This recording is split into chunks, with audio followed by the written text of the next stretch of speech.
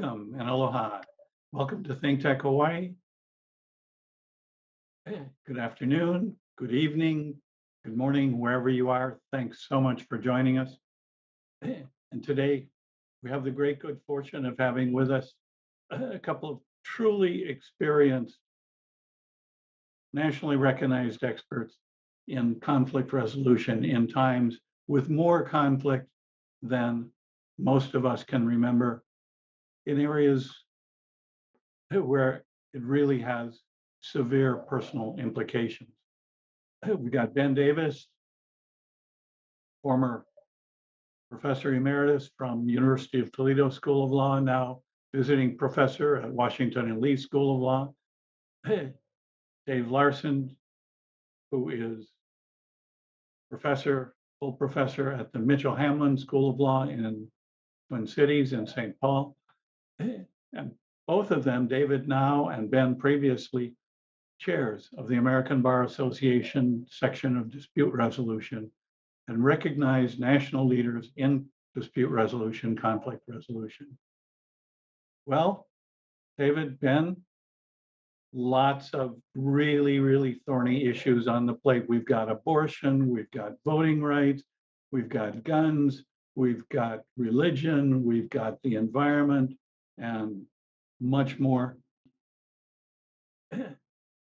Is there any area where the lessons of dispute resolution that you've come to learn and teach and master over the last few decades might have some applicability, some benefit?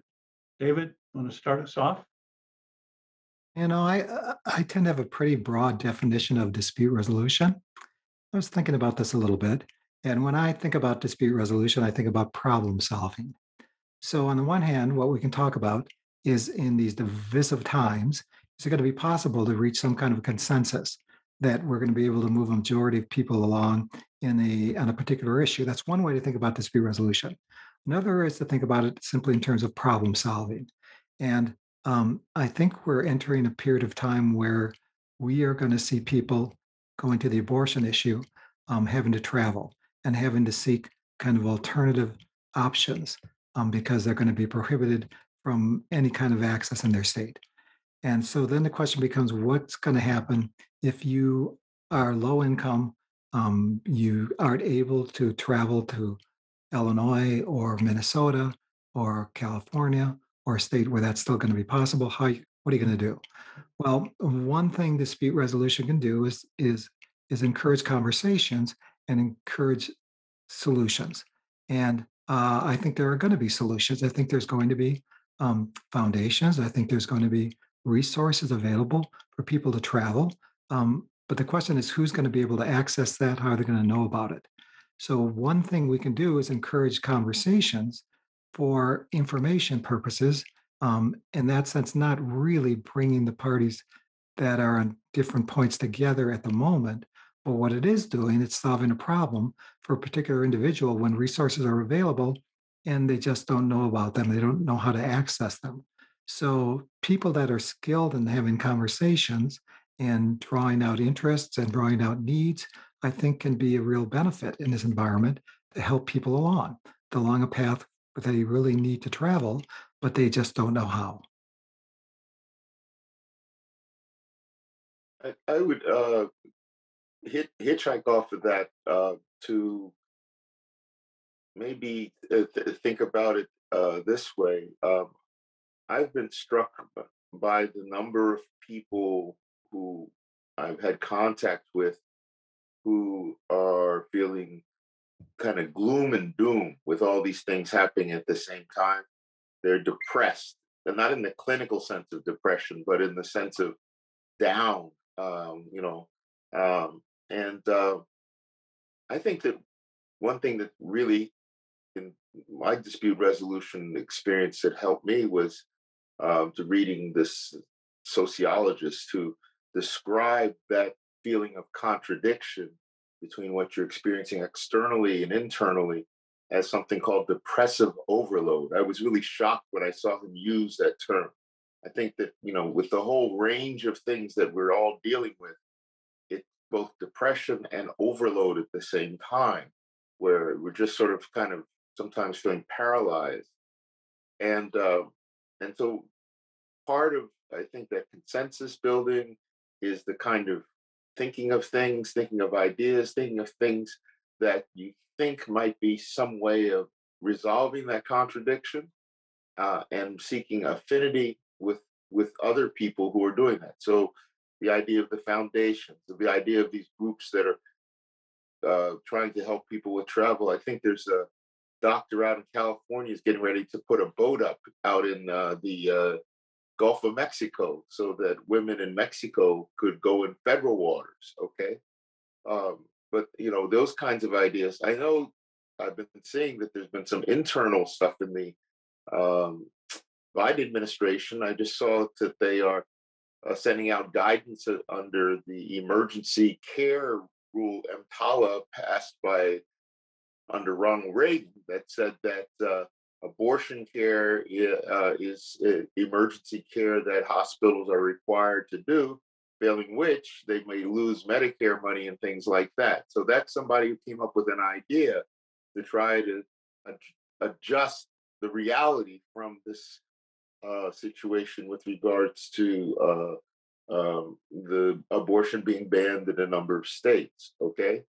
Um, there's another thing that I would also say is that uh, there is a lot of uh, effort to make us all fearful right now. In other words, if you're a person who thinks that women's right to choose girls, this whole terrible story of this 10 year old girl who was raped in Ohio is emblematic of that process which is where the story comes out and then sort of the right wing machine starts to deny it and say that it's been made up. And I mean, really, even going up to the attorney general of the state of Ohio saying he hadn't heard anything about this, right? So to make it debunk it. And then what happens is finally there's a guy who actually gets arrested for the rape of the 10 year old girl, right? So, but that part where it is not told. And so in the space, there's the debunking part but then the actual after the fact information of what it was true is not put forward. Furthermore, apparently the attorney general of Indiana is trying to look into sort of going after the doctor who did the abortion. So again, intimidation, make you fearful. You know, like not complying with HIPAA or not complying with paperwork stuff. Paperwork games are another kind of game that is being played to to try to catch people in a spot. Yeah, so these are all to make you feel fearful. I understand that there have been letters sent to law firms down in Texas telling them that uh, the state is, you know, if they're going to pay for their uh, uh, employees to go out of state to get abortions, they would be suffering criminal liability. It's all about creating fear.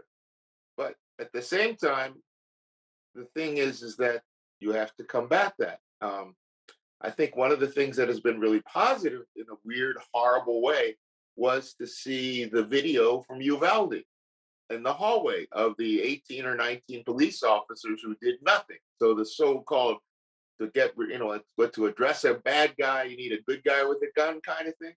Literally, that's blown up by what we saw there in that horrendous situation. That that kind of myth making uh, to sell guns, really, is is nonsense. Now, does that mean that we're going to move to banning these weapons of war? I think that there's going to be something. Remember, we, we did ban Tommy guns in the United States, and these AR-15 type weapons I, uh, are starting to be described as weapons of war, and the, the, especially with Highland Park and all that. And I think that there is a possibility of moving things that way. You know, But the one thing, the one yeah, thing that, that I think moves people is if it's, if you talk about children, you know, and the, yeah, and the risk of children, I think that that crosses political lines. And to the degree that the assault weapons are now killing children and they're killing increasingly, that's the kind of reality that I think can pull people at different ends of the political spectrum together because that's the commonality they share. They want their children to live and they want their children to be healthy. So um, it's it's tragic that it takes that kind of event to pull people together. But the fact is, it did happen, And now the opportunity is there for people on opposite ends of the spectrum to say, we can agree about this.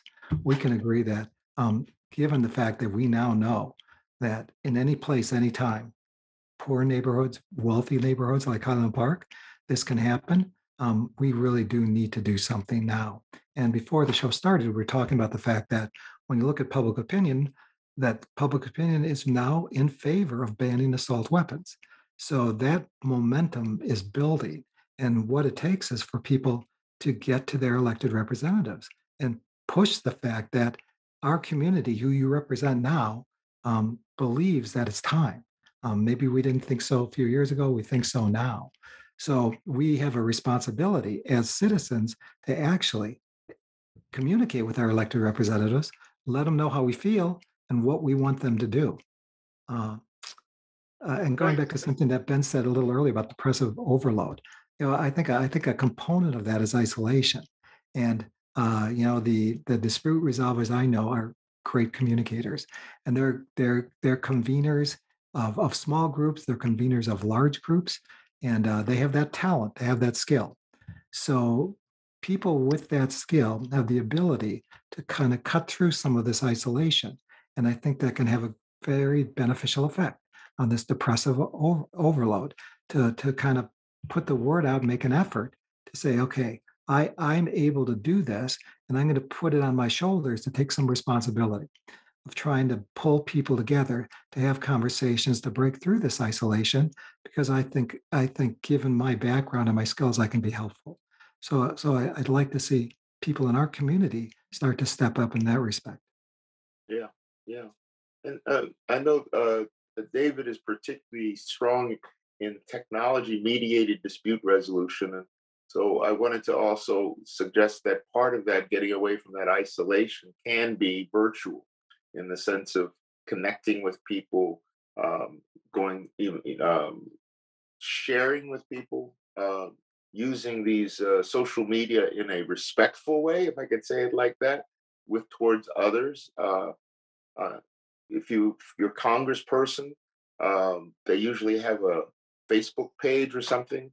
Getting on that Facebook page, asking them things, entering into the dialogue with the people that are there in a manner that stating what you're thinking of, but also uh, that is respectful. You know, no no flaming was the old term.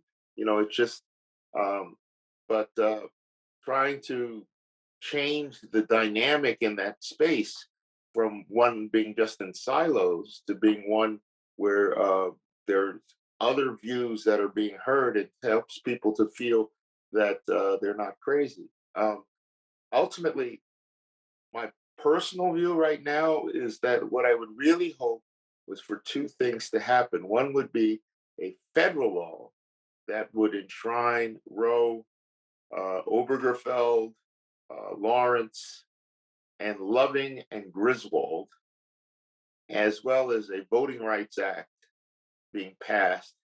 Um, and my theory personally is that you basically get the filibuster exceptions for those two things with a promise to reinstate it afterward. Okay.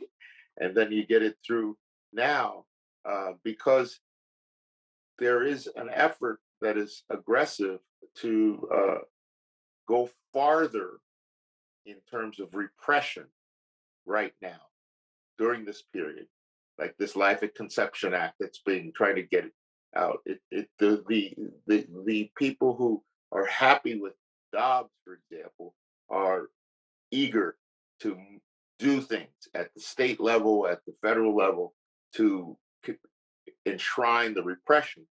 And so, I think prior to the election, it would be good to have the battle lines being drawn, so to see, so to speak, and then And Ben, Ben, I'll just I'll just add make it a trilogy. yeah, The other, the okay, other, the other piece of legislation I'd like to see is a assault weapons ban. I mean, yeah, I, I, okay. I would really like that to happen. Yeah, yeah, yeah. And and you know, basically what happens is that there's a vote in the House, there's a vote in the Senate, right? And you see who votes which way. And it makes it very binary. And if somebody votes against these things and they're up for election in November, you vote them out. That's one thing that politicians are really focused on besides money is not losing their jobs more than anything else. And so, you know, I was amazed to get a letter back from my congressman, apparently more rapidly than some other people on the list have gotten. Because, and it was right after I put in a post that said, well, I think, you know, I can't understand how any Democrat, independent, or Republican who was self respecting could vote for any Republican who had not broken with Donald Trump. Boom.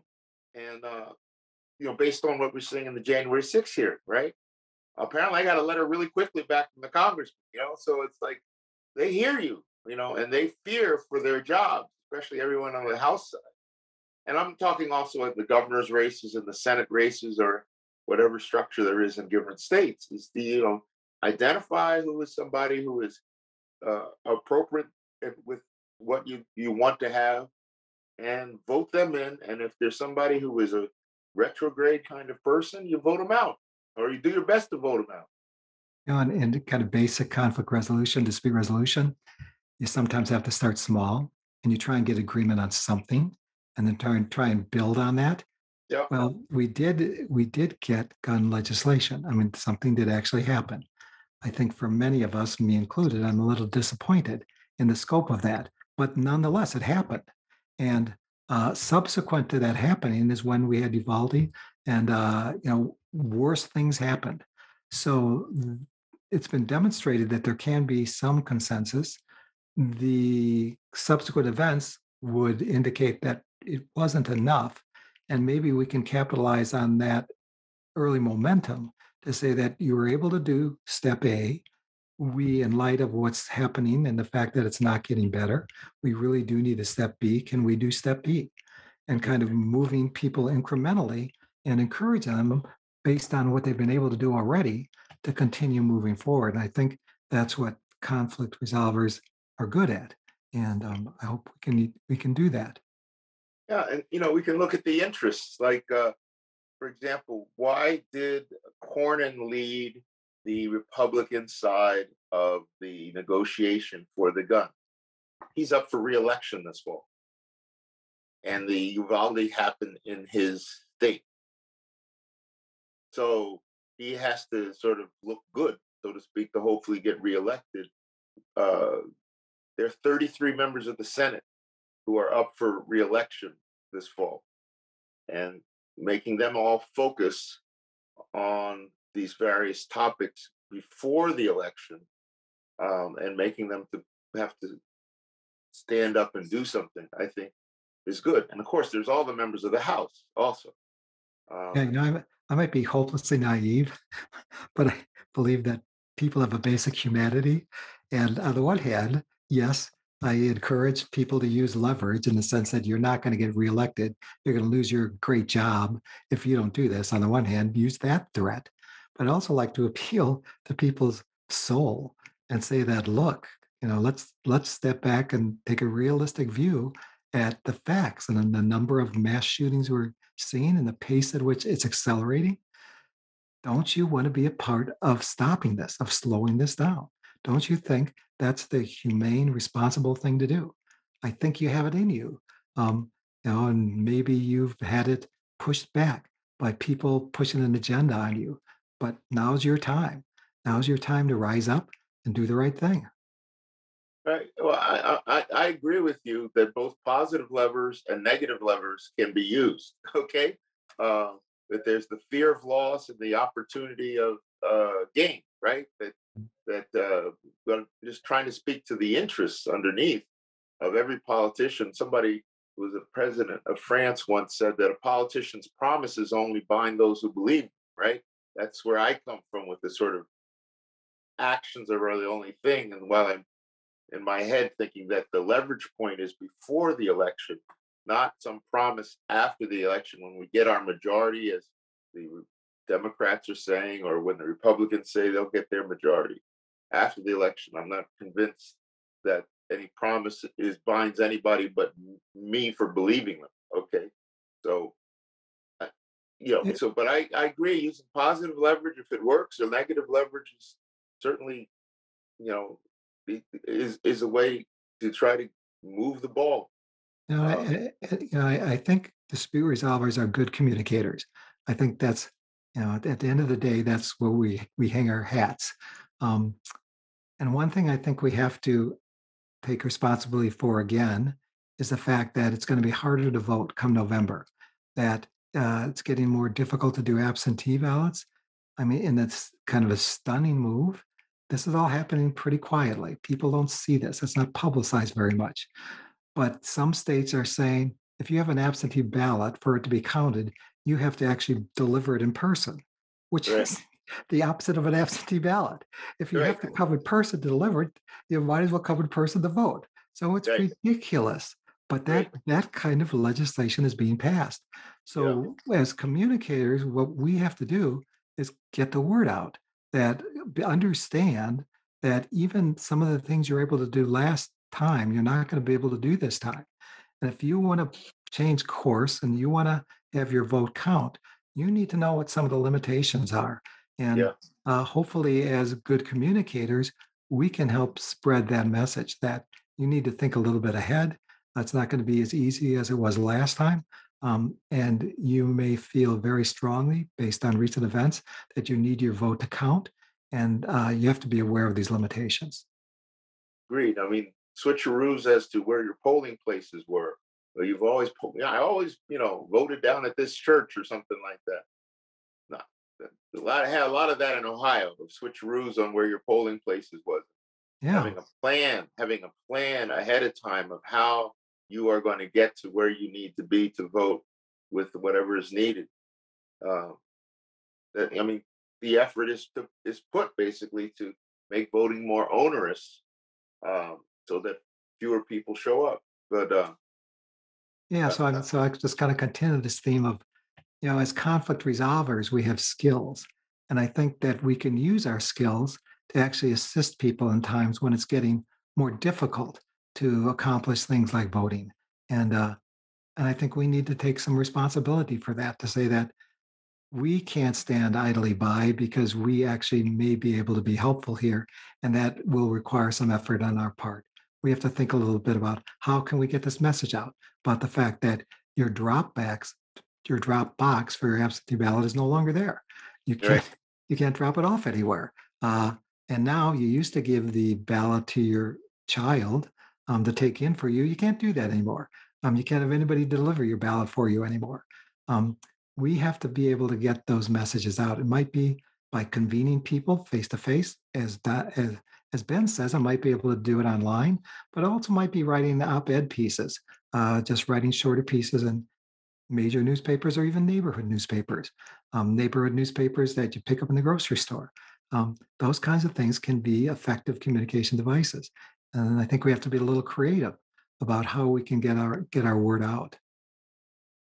yeah, and uh, one of the things about the conflict resolution people is they don't do conflict avoidance. They, they, you know, they they get into the middle of conflict and uh, try to find solutions. I, it's like uh, when there's these horrible situations in the world, and then some diplomat shows up, you know, and and you know, it's a ho- hopeless, right? It's hopeless. But those diplomats who show up and say, "Okay, let's say, let's take a five minute break, everybody," you know, and oh look, everybody stop shooting each other for five minutes. Let let's make it ten, okay? You know, and um, you know, in these hopeless situations, not necessarily they can resolve them all the time, but finding ways, you know, so to speak. And um, I'm also uh, a person, and like, and I think uh, David too is on the whole is generally optimistic in terms of uh, not despairing about things, but just trying to find pragmatically ways to move the ball forward um, uh, in, in a reasonable manner. Because one thing I worry about with that, with many people, is this feeling of isolation, of defeat, of uh, you know, it's hopeless to try to do anything. Uh, I, I've, I've kind of felt those feelings and heard those feelings from different people. And, you know, there's a long history of this country of things that are not so good happening. And as I think it was Sherrilyn Ifill said that when you look at the long history, for example, of Black Americans, and all the history, Dred Scott, and all that. You know, one thing you never saw for Black Americans was them saying we're giving up. All right, so you know, you, just can't give up. You just have to keep working towards that more perfect union, uh, that Madisonian protection of all our rights, um, and finding the the way to get with others to to to reach that. You know. Eh, So that brings together an understanding of what, it raises the question maybe for next time, what are the best sources? If, as one famous author put it, conflict is a dark room with the door closed. And you got to open the door, let in the light to see where solution might be and what it might look like. What might the light toward solution look like for any of the areas that you've talked about in our last couple of minutes? Well, I'm going to make a pitch for David and the section of dispute resolution of the ABA as a space of conflict resolution skills being encouraged and developed and light uh, being brought. I think it's one of those light spaces that you're describing of uh, providing different programs and all that to, to, and knowing who is doing what around where. That is something that can help uh, with people uh, being able to do things. Uh, to start with that as a particular space. And a resource. And David, Yeah, you know, I, for today? you know, I, s- I still read newspapers. I still look at media. Um, I think a lot of people look at media, but now it's shifting towards digital. But the fact is, digital media is really accessible in lots of ways. Um, that's one of the positive things is that we can all be newspapers now. We can all be mini multinationals now. So I think, uh, as Ben said, thinking how we can use uh, digital media respectfully um, is a very a, a very vital way and um, very realistic way to get messages out. Um, so I encourage everyone to think about the social platforms that they're on, ways they can engage, and uh, ways they can engage effectively. Thank you both. Great discussion, great insights, great ideas. Folks, thanks so much for joining us. Come back in a couple of weeks. We will be here again with more difficult conversations to make good trouble. Thanks for joining us on Think Tech Hawaii.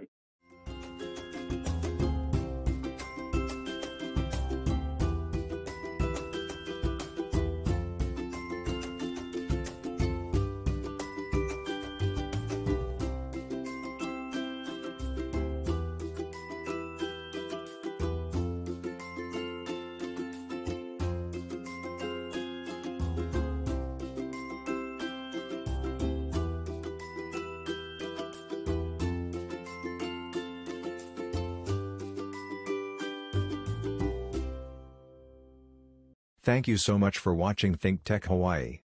If you like what we do, please like us and click the subscribe button on YouTube and the follow button on Vimeo. You can also follow us on Facebook, Instagram, Twitter, and LinkedIn, and donate to us at thinktechhawaii.com. Mahalo.